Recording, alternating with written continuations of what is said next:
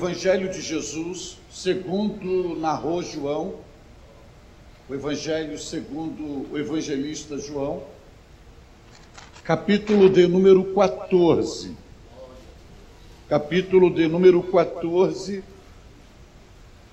E a gente vai ler hoje versículo de número 1 até o versículo de número 3. O Evangelho de nosso Senhor e Salvador Jesus, capítulo de número 14, versículos de número 1 ao versículo de número 3. Se você achou esse texto da Bíblia, você pode celebrar ao Senhor dizendo aleluia. aleluia. Diz a Bíblia: Não se turbe o vosso coração. Credes em Deus, crede também em mim. Na casa de meu pai há muitas moradas. Se não fosse assim, eu vou-lhe teria dito: Vou preparar-vos lugar. E quando eu for, eu vos preparar lugar, virei outra vez. Eu vos levarei para mim mesmo, para que onde eu estiver, estejais vós também. Amém. Então, por bondade, assentai-vos, e eu vou pedir uma gentileza a todos os irmãos.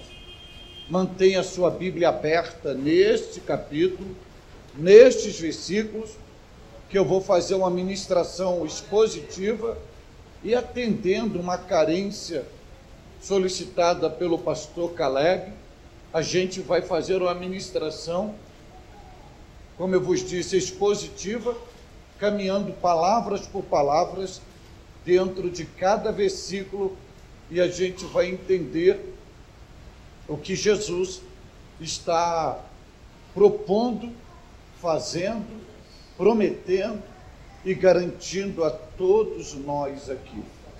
E antes de eu começar a fazer a ministração bíblica, eh, eu quero reparar um equívoco cometido por mim em relação ao diácono Isaías, obreiro desta casa, expressar minha gratidão a Deus pela sua vida, pela sua doação, dedicação e pelos excelentes serviços que ele tem prestado ao reino de Deus por meio desta igreja e hoje de uma forma muito generosa, fazendo o nosso deslocamento até esta igreja.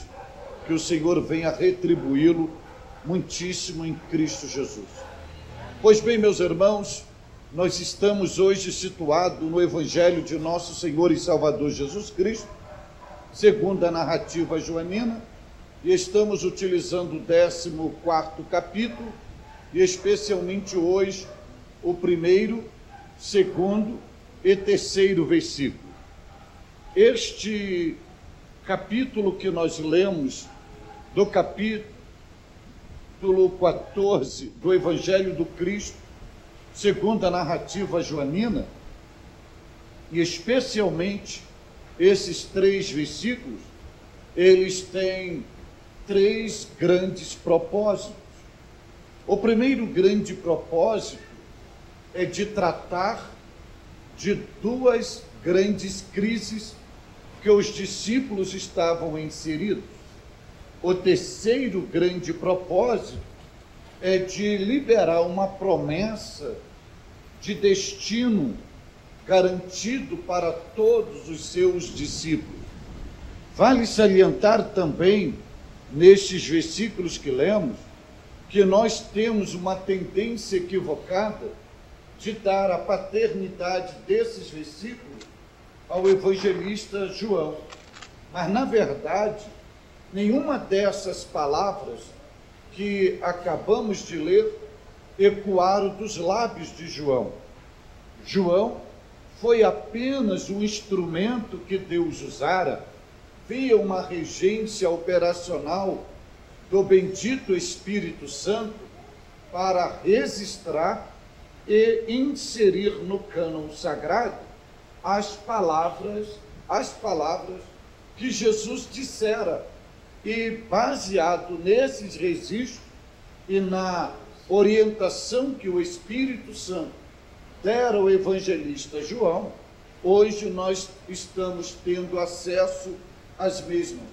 Mas dentro da realidade bíblica, estas palavras que lemos ecoaram exclusivamente dos lábios de nosso Senhor e Salvador Jesus Cristo.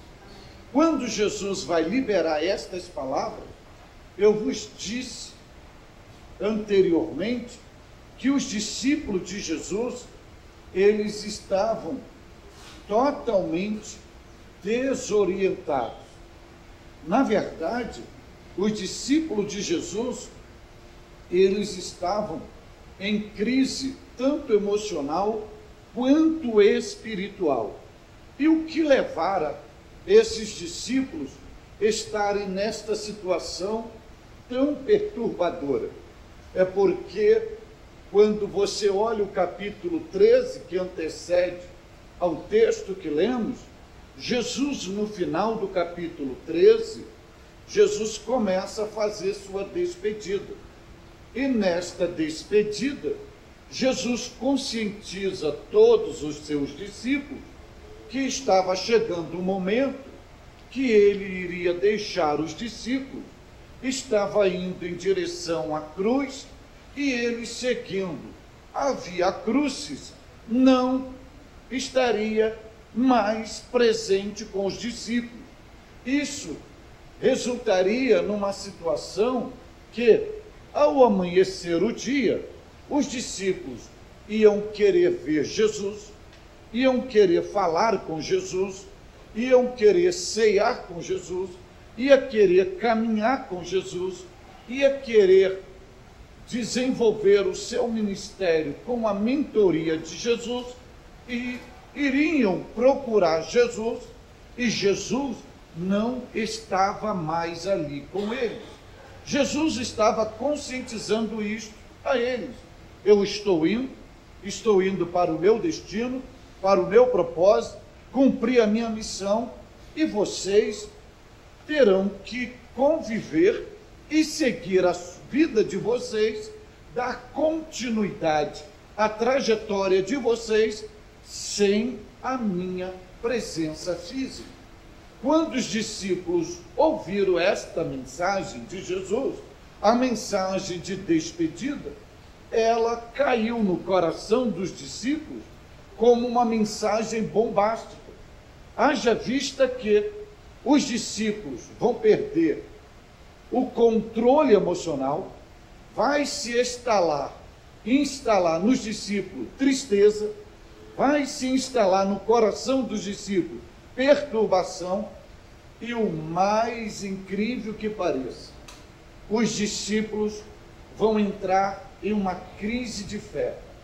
E é baseado nesse contexto de que Jesus percebe esse descontrole, esta crise de fé nos discípulos, então Jesus ele vai usar duas metodologias, duas práticas para tratar dos discípulos. E ele usa nessas duas práticas a mesma ferramenta da despedida, que é a sua palavra, que é a sua mensagem.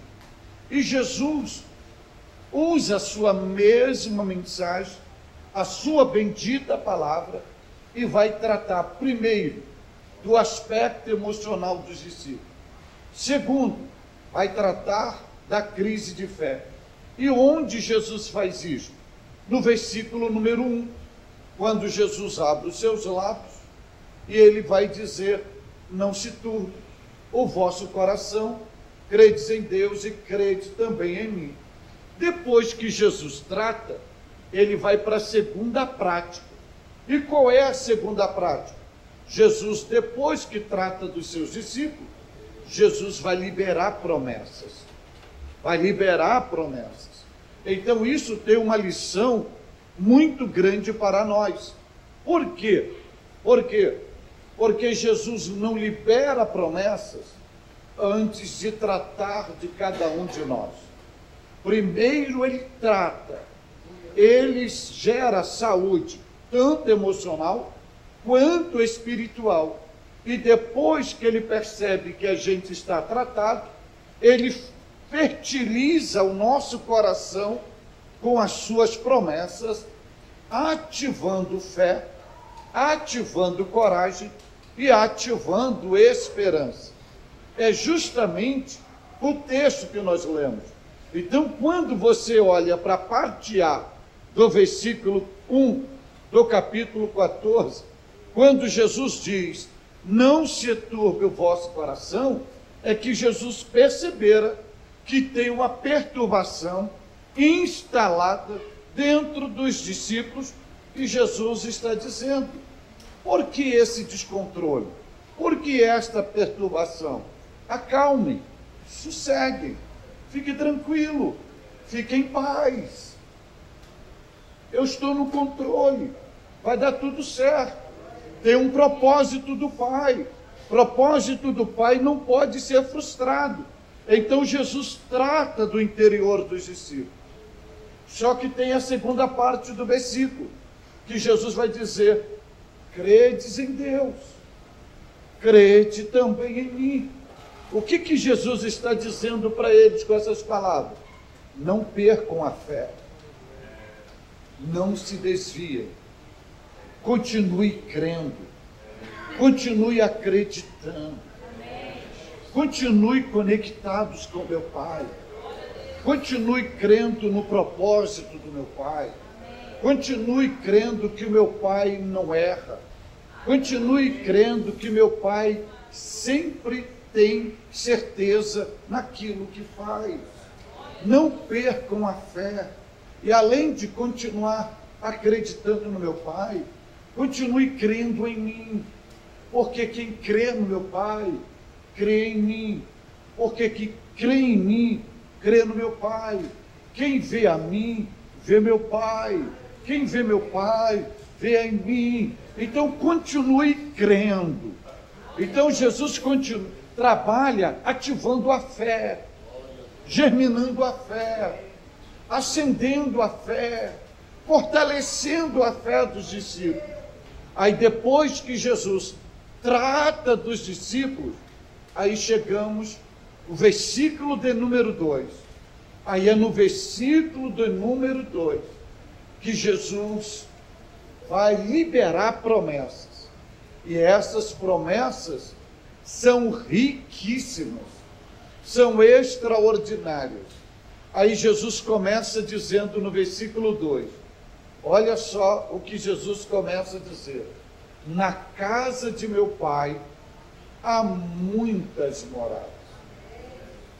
Isto parece muito familiarizado aos irmãos, muito simples para muitos, mas isso aqui é muito rico. Primeiro, que Jesus estava deixando os discípulos, ele estava indo para a cruz, pós-cruz, sepultamento, pós-sepultamento, ressurreição, pós-ressurreição, ascensão, e a ascensão para onde Jesus estava retornando? Para a casa do Pai. Só que ele diz para os discípulos tudo isso. Só que na mente dos discípulos é sinônimo de abandono, é sinônimo de deixá-los para trás. Aí Jesus vai infundir na consciência dos discípulos o seguinte: para onde estou indo, é a casa do meu pai. Só que esta casa não é só minha. Ela não é exclusividade minha. Ela não tem um lugar somente para mim. Essa casa também é de vocês. E essa casa tem lugar para vocês. E quando Jesus fala isso, isso aqui é bom salientar, Jesus está falando isto não para a multidão que o seguia.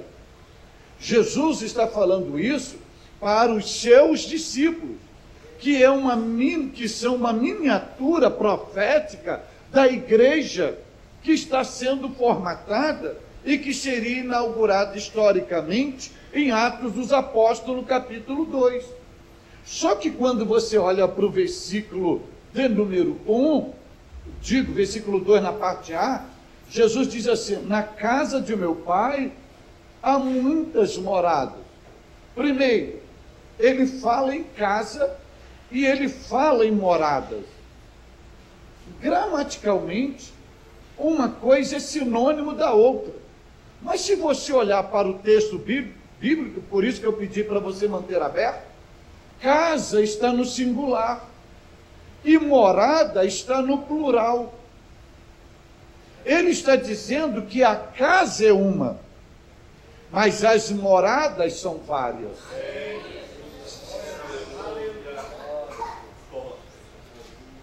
A casa é uma, mas as moradas são várias. E a gente vai entender isto.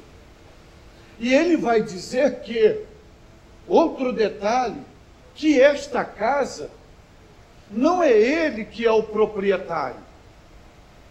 Ele está dizendo que ele é um dos herdeiros desta casa. Porque ele diz que a casa não é dele, a casa é do pai. A casa tem um dono, a casa tem um proprietário, a casa tem um responsável. Logo, esta casa não está abandonada. Outro detalhe é que ele diz, ele deixa claro, que esta casa não está embaixo. Esta casa está em cima. Esta casa não é terrena. Esta casa é celestial. Outro detalhe que ele deixa aqui para nós é que esta casa não foi feita por mãos humanas. Esta casa é resultado de um poder soberano, eterno, infinito, imensurável.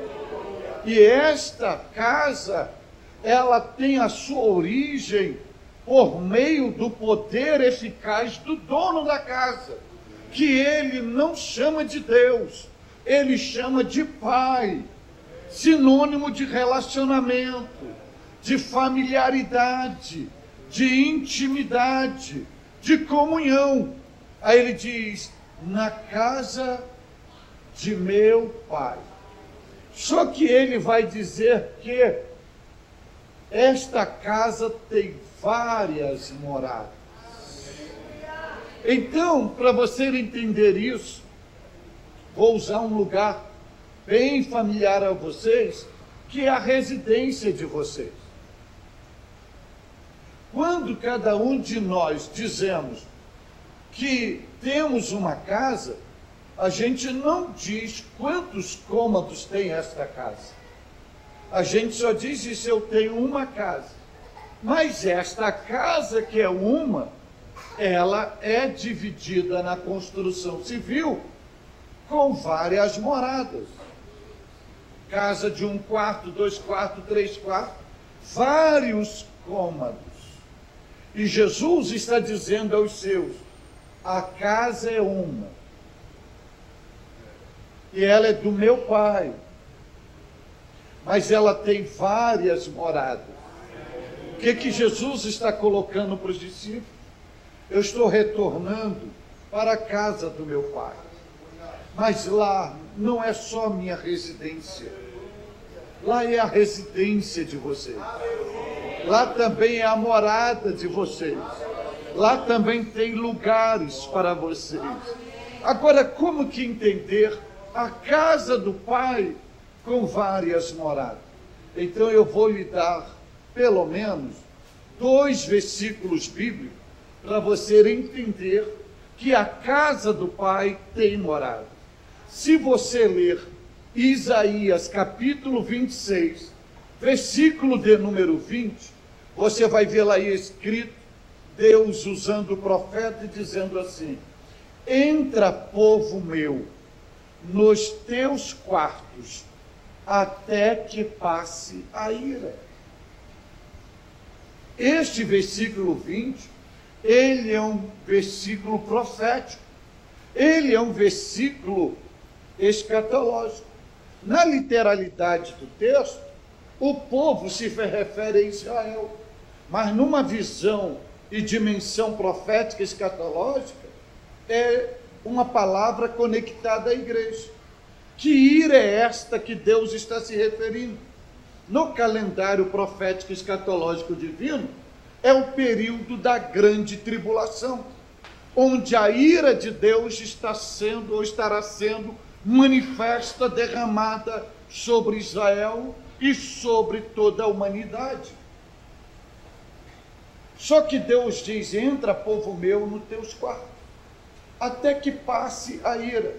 Significa dizer que nesta casa do Pai tem um quarto, onde a igreja estará abrigada, guardada, num período de quanto tempo? Sete anos, que é o período da grande tribulação, até que passe a ira.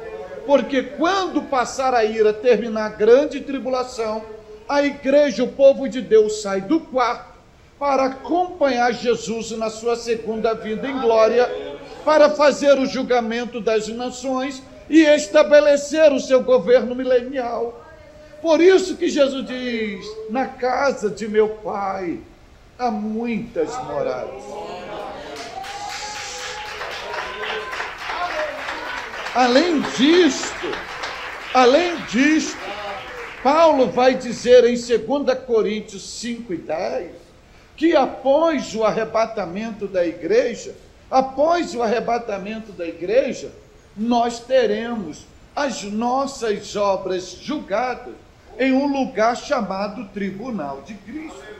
E estas obras não serão julgadas nem nas nuvens e nem dentro do céu, mas é um desses cômodos que na originalidade chama de bema, que é um tribunal estabelecido, é uma repartição, é um cômodo da casa que Jesus nos levará para julgar as nossas obras de madeira, palha e feno, de pedras preciosas, de prata e de ouro, e dar a cada um de nós o galardão segundo as nossas próprias obras. Mas se aí não basta, se você ler Cantares de Salomão, capítulo 2, versículo de número 4, a noiva faz um pedido ao noivo e ela diz assim: leva-me à sala do banquete. Então, na casa do pai, tem um tem quarto, e tem, uma, tem um lugar para dar o galardão, e tem uma sala do banquete.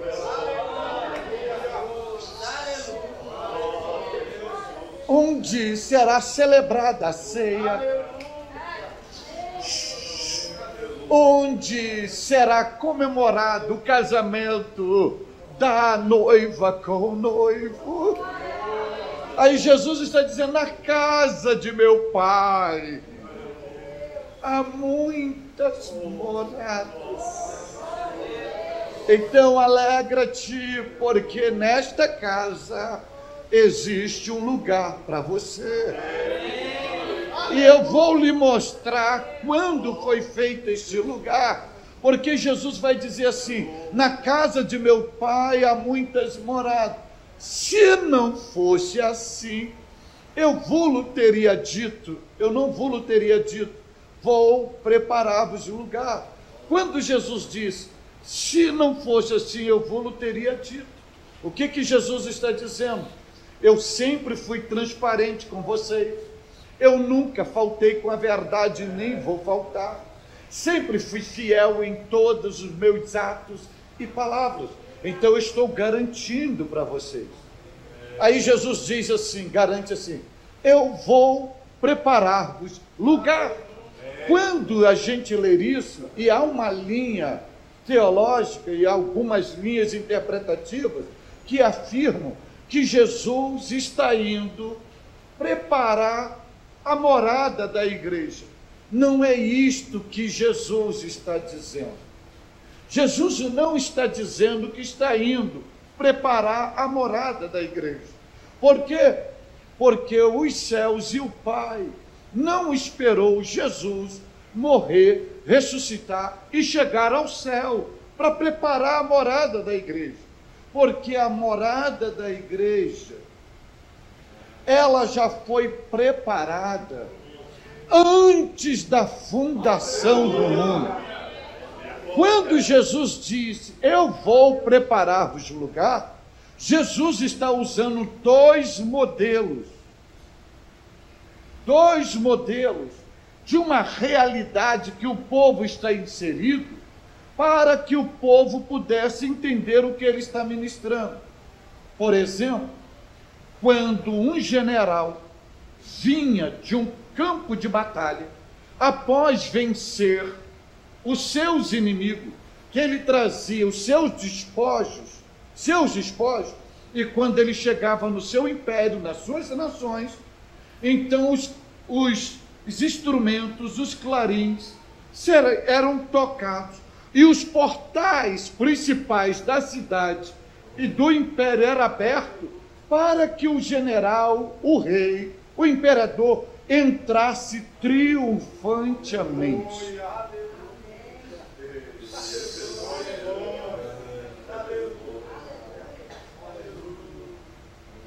Segundo lugar, Jesus usa um contexto do Império Romano que, quando ele ia a uma determinada cidade, e um grupo na frente preparando o caminho, que isso era chamado de pródromos. Eles preparavam o caminho para que, quando a realeza passasse com a sua comitiva, não tivesse nenhum impedimento. Que Jesus está dizendo: Eu estou indo na frente preparar o caminho. Só que Jesus também utiliza o modelo do casamento judaico. Porque o casamento judaico, a festividade, não era feito na casa da noiva. Também não era feito no meio do caminho. A festividade, a celebração, o casamento era feito na casa do pai. Quando Jesus diz, eu vou preparar-vos lugar, ele não está se referindo à morada, mas ele está se referindo à festa.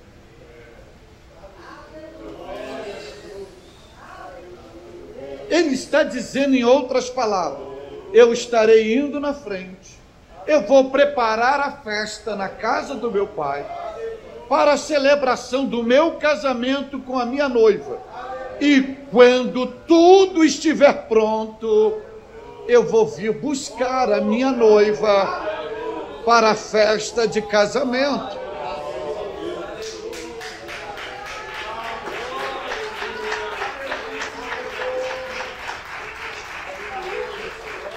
Agora, isso a gente entende no versículo de número 3, quando Jesus diz assim: olha o que Jesus está dizendo quando eu for.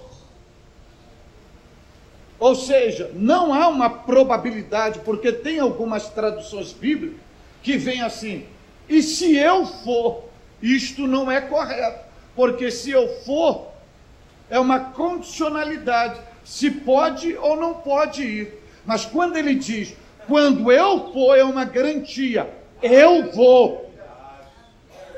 Eu vou. Ou seja, isso parece simples, mas é importante. Porque se eu for, porque ele só pode ir se ele passar triunfante na cruz.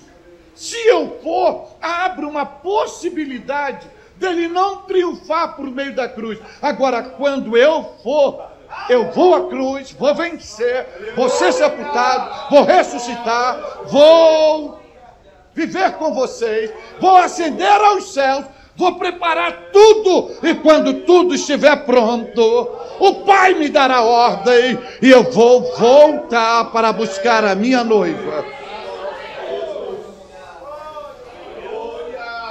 Agora, olha o que, que ele diz assim: e quando eu for, e vos preparar lugar, agora, olha o que, que ele diz assim: virei outra vez. Não está escrito isso na sua Bíblia? Jesus não precisava dizer isso. Bastava Jesus dizer: E quando eu for e vos preparar lugar, virei. Bastava ele usar o verbo vir. Virei. A gente já entenderia, os discípulos entenderiam. Só que conectado o verbo vir, Jesus diz outra vez. Por que, que ele não usa só o verbo vir dizendo virei e vos levarei? Mas ele faz questão de dizer virei outra vez. Por que, que ele enfatiza isto? Então ouça-me aqui. Porque só pode vir outra vez quem veio a primeira vez. Então ele está desconstruindo toda a dúvida do coração dos discípulos e ativando a esperança. Ele está dizendo: Eu não vim a primeira vez, eu não estou aqui. Para os homens, não era uma impossibilidade de eu estar aqui, e eu não estou, haja vista que a primeira profecia acerca da minha encarnação no mundo dos homens fora dita pelo meu pai em Gênesis 3,15, quando meu pai disse: porém, inimizade entre ti e a mulher, entre a tua semente e a tua semente, e tu pisarás a cabeça, e tu ele ferirá a cabeça da serpente, tu lhe ferirás o calcanhar. Levou quatro mil e quatro anos na cronologia humana para se cumprir a própria profecia do meu pai, e eu não estou aqui aqui. Não teve uma profecia, ele está infundindo isso na consciência do discípulo. 800 anos em média, antes do meu nascimento e encarnação, que eu viria do ventre de uma virgem, inacreditável no mundo humano, uma impossibilidade no mundo humano, e eu não nasci de uma virgem. Eu não estou aqui.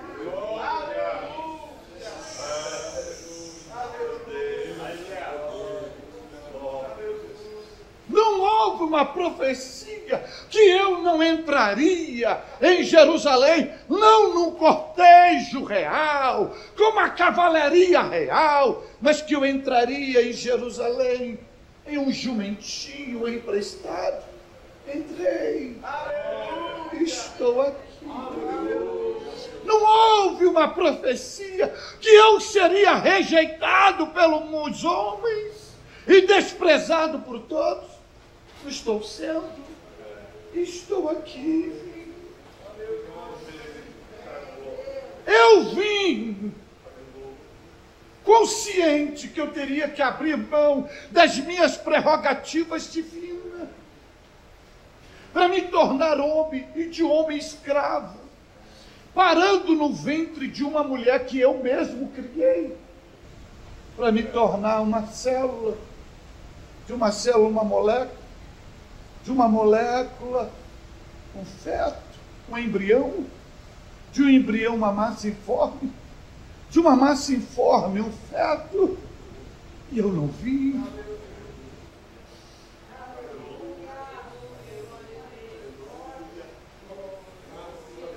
Eu vi consciente que iam me maltratar, me cuspir, fazer maldades comigo.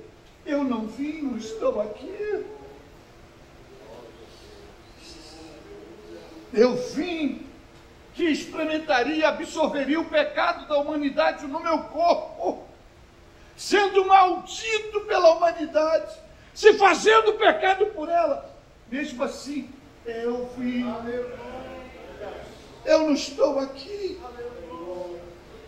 Quanto mais agora que eu não vou voltar para morrer numa cruz, para receber uma coroa de espinho, para parar numa manjedoura, para vir montado em um jumento. Agora eu vou voltar é, em glória para buscar o fruto do meu trabalho, conquistado na cruz do Calvário.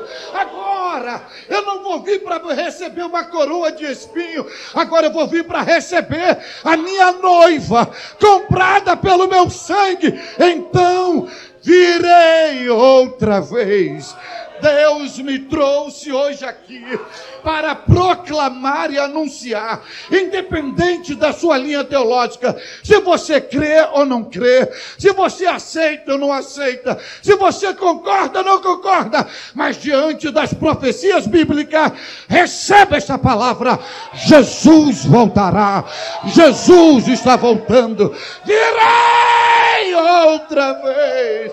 O Rei está voltando. O amado da nossa alma está vindo. Virei.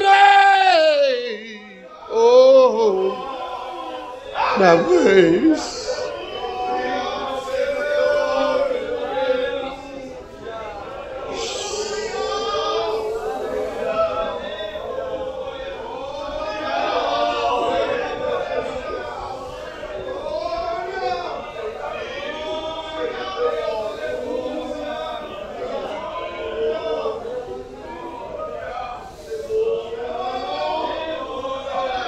Glória a Deus!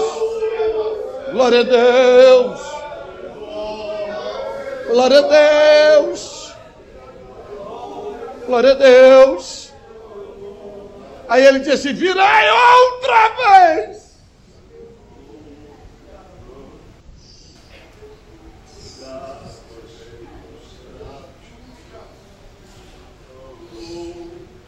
Ouça que eu vou falar algo aqui que passaram sempre para vocês. Mas não é isso que Jesus está dizendo aqui. Aí Jesus diz assim: Virei outra vez, aí vos levarei. Não está escrito isso? Levarei. Vê se não é o verbo levar. É o verbo levar ou é o verbo elevar? É levar ou elevar? É o verbo levar. O verbo levar é diferente do verbo elevar. O verbo elevar vai gerar a palavra elevador e o instrumento e a máquina elevador. Elevar é tudo aquilo que eleva pelo seu próprio poder ou força. E levar é que você não tem poder de se deslocar com as suas próprias forças. Você depende de uma força maior do que a sua para te deslocar do lugar que você está. Quando Jesus diz: Vos levarei, ele está dizendo: ninguém poderá reter vocês na terra porque eu usarei das prerrogativas do meu poder, e eu mesmo arrancarei vocês, e eu vos levarei. Levar é um deslocamento de um lugar para o outro é uma sinalização que eles estão que ele está confirmando. Vocês estão no mundo, mas vocês não são do mundo. Vocês aqui são peregrinos, vocês aqui são forasteiros, vocês aqui estão de passagem, e eu já tenho um dia que eu vou tirar vocês daqui e eu vou te levar. Aí eu vou fazer uma pergunta que vocês estão acostumados de ouvir e, e de responder no automático. Quem aqui quer ir para o céu? Quem aqui quer ir para o céu? Ah, mas só vocês querem ir para o céu. Só que a promessa de Jesus não é nos levar para o céu. Ele diz assim: e vos levarei. E ele vai dizer: não é para onde ele vai nos levar, é para quem ele nos vai levar. Ele não diz, eu vos levarei para o céu. Ele não promete isso. Ele promete o seguinte: eu vos levarei para mim.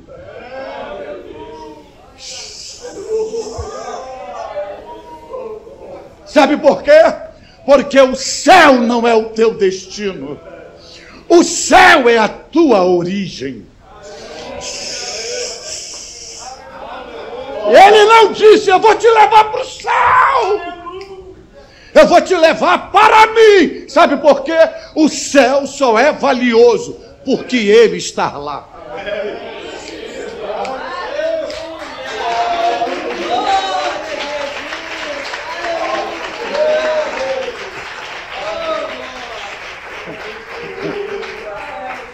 Ele não morreu para te dar o céu. Ele morreu para você ser dele e ele ser seu.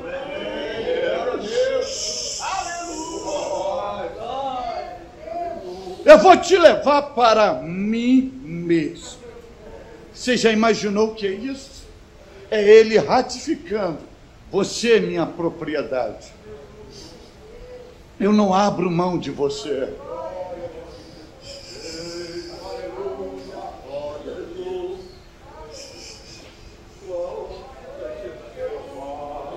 Agora imagine só numa hipótese: você chegar no céu Aí está lá Abraão, está lá Isaac, está lá Jacó, está lá Moisés, está lá Isaías, está lá Josué, está lá Jeremias, está lá Malaquias, está lá João Batista, está lá Paulo. Aí você procura por Jesus. Aí ele não está aqui. Que sentido teria o céu? O céu só é o céu, porque ele está lá. No entanto, ele não diz: Eu não vou levar vocês para um lugar eu vou levar vocês para uma pessoa, para mim. Ele morreu foi por você, então você é dele.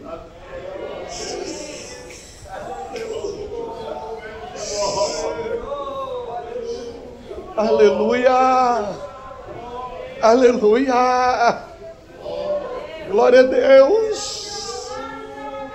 Glória a Deus! Glória a Deus.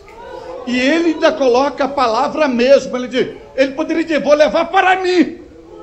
Mas ele diz, para mim mesmo. Ou seja, exclusividade. Exclusividade.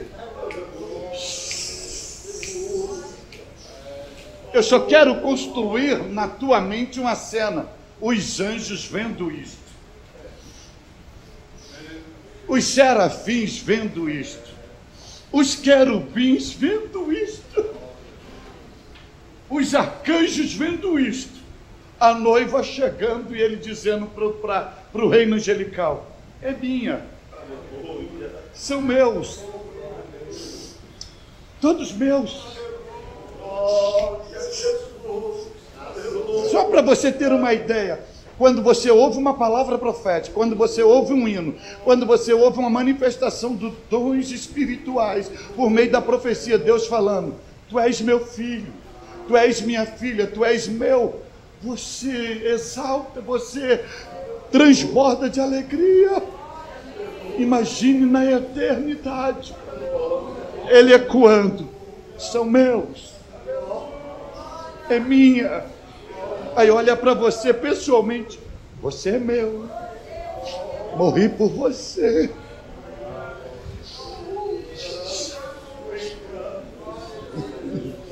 Numa linguagem bem popular, é como se disser: ninguém aqui usa, a exclusividade é minha. Eu vou levar vocês para mim mesmo.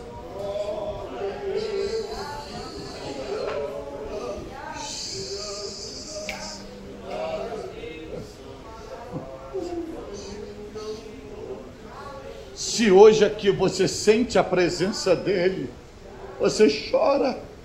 Imagine passar a eternidade com ele e ouvindo dele: Você é meu, você é minha. O sangue foi derramado por você. Eu te amo. Só vai ter uma alternativa com vocês, conosco. Só vai ter uma alternativa: acompanhar os anjos no louvor e na adoração.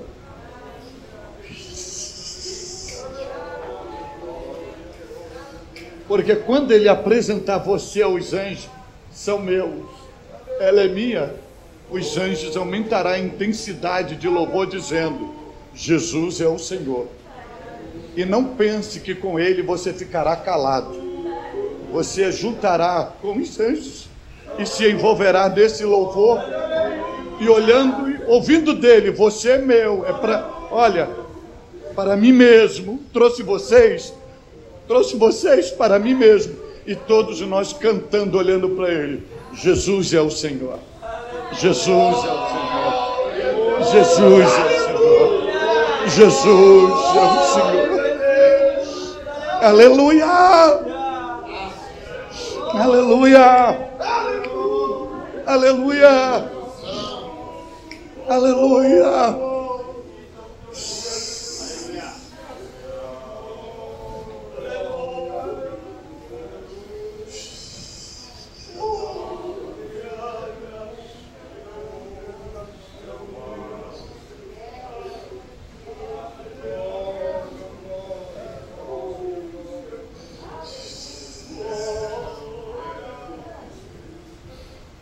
Só que ele vai encerrar, a gente vai encerrar no versículo 3, e ele vai dizer assim: Vou levar vocês para mim mesmo.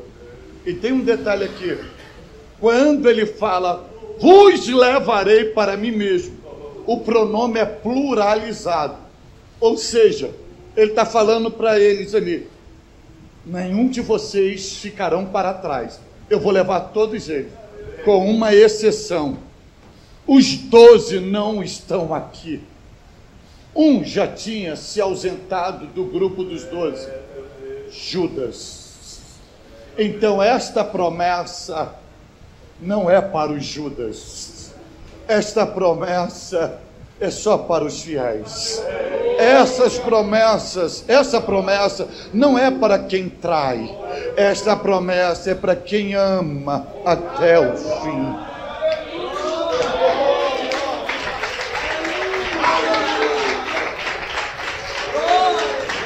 Aleluia! Aí Jesus vai dizer mais: Vos levarei para mim mesmo, para que onde eu estiver, aí ele garante: estejais vós também. Isso aqui parece simples, mas isso é muito rico, porque aqui há uma dimensão da riqueza da graça. Presta atenção no que Jesus está dizendo. Para que onde eu estiver, então qual é a referência? É Ele. Onde eu estiver, vós estareis comigo. Ok? É rico isso, ok? Só que hoje, na dispensação da graça, é o inverso. Jesus vai dizer em Mateus 18 o seguinte: Onde estiver dois ou três reunidos, eu estarei no meio de vós. Qual é o referencial agora? Duas pessoas reunidas em comunhão. Onde estiver dois reunidos em comunhão, eu saio da onde estou para estar com eles. Aqui não. Aqui é o inverso. É onde eu estou, vocês estarão é onde eu estiver, vocês estarão. Hoje é onde nós estamos, Ele está. Lá é aonde Ele estiver, nós estaremos. É, mas isso a mente humana não tem como compreender. Sabe o que significa isso? Jesus se levanta do trono, você se levanta também. Jesus vai ao reino angelical, você vai também, porque aonde eu estiver, ou seja, eu vou andar com vocês e vocês andam comigo. Hoje nós andamos com ele e ele anda conosco. Lá, ele anda com a gente e a gente anda com ele.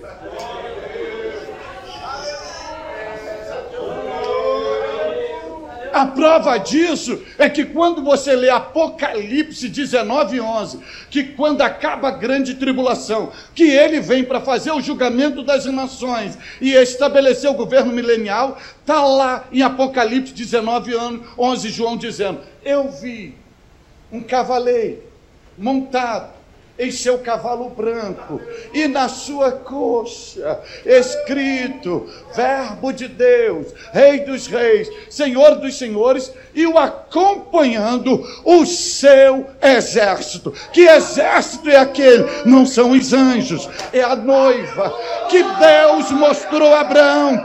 Conte para o céu, olha para o céu, conte as estrelas, se é que tu pode contá-las, assim será a tua descendência, onde eu estiver, estejais vós também. Aí, para que eu possa liberar vocês, ele não está dizendo para que onde eu estiver, estejais vós também. Então eu vou lhe mostrar, numa linguagem humana que a Bíblia usa, onde você estará com Jesus.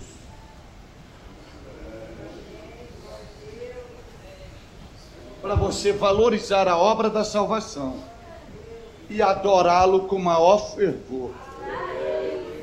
Então, abra Apocalipse 3, 21. Vá ver se isso está na Bíblia. E ver se exatamente está escrito assim. Aquele que vencer. Vê se está em Apocalipse 3, 21. Aquele que vencer assim como eu venci, se assentará sozinho comigo no meu trono, ou no trono do meu Pai, assim como eu venci e assentei no trono do meu Pai. Não está escrito isso? Sentará comigo no trono.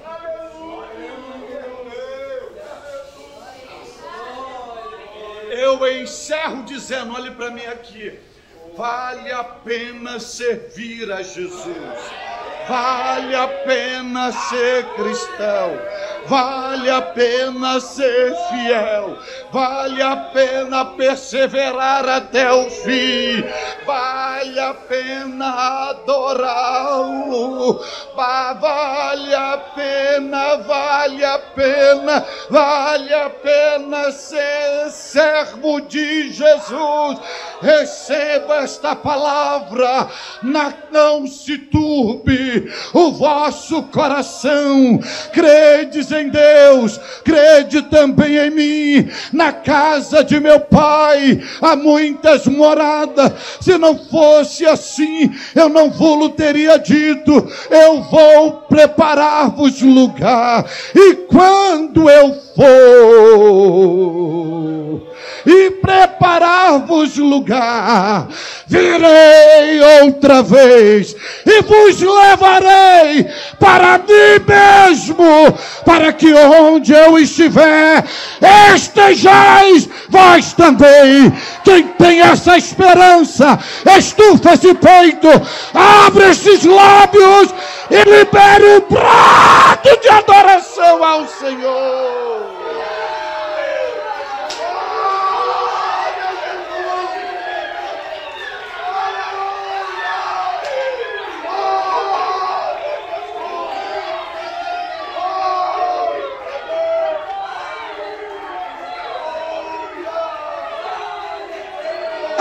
Adore mesmo.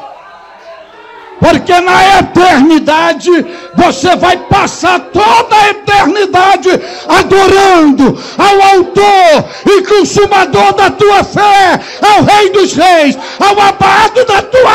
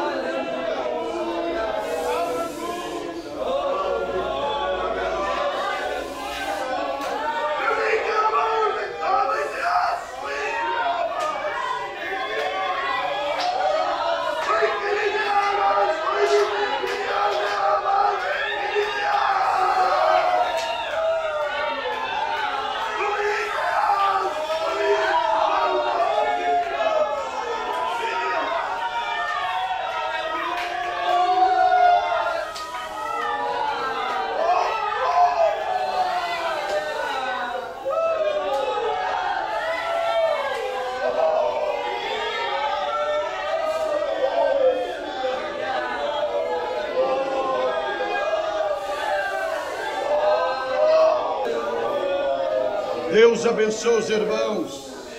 Deus abençoe esta igreja. Deus abençoe o pastor Caleb. Deus abençoe este ministério. Que a boa mão do Senhor continue operando neste lugar. E a cada dia a esperança esteja viva em cada coração, cantando, orando. Maranata, Maranata. Ora vem, Senhor Jesus. Deus te abençoe.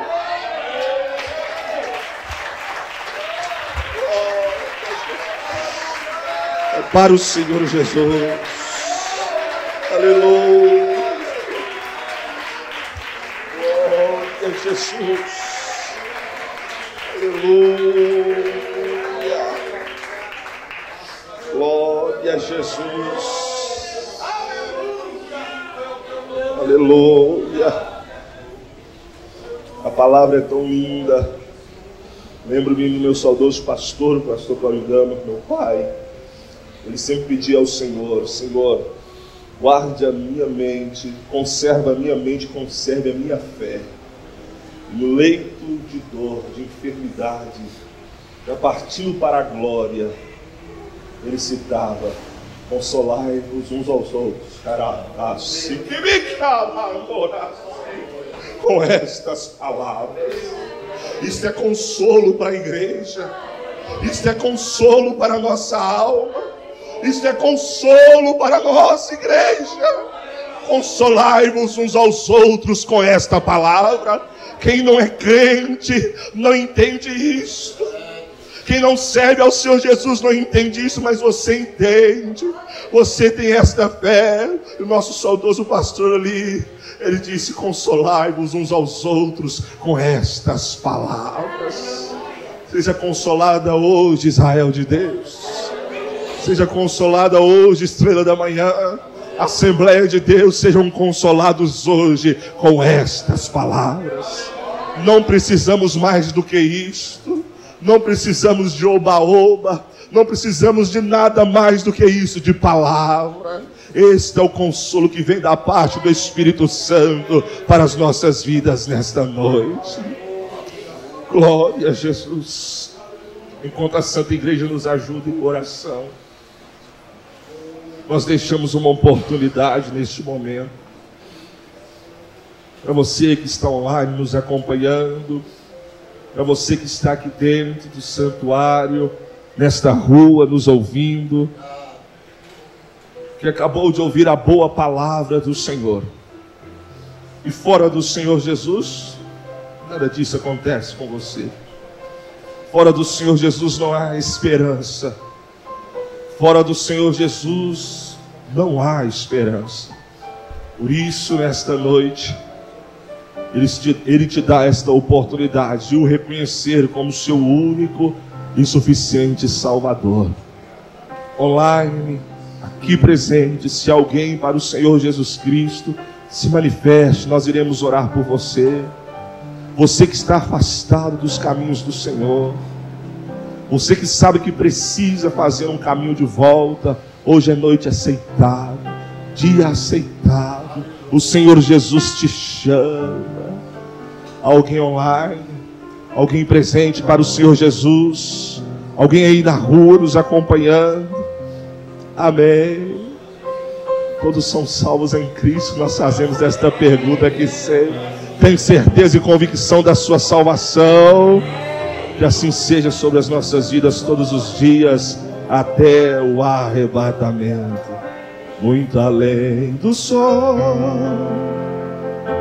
Muito além do sol. Eu tenho lá um belo lugar, muito além do sol, muito além do sol,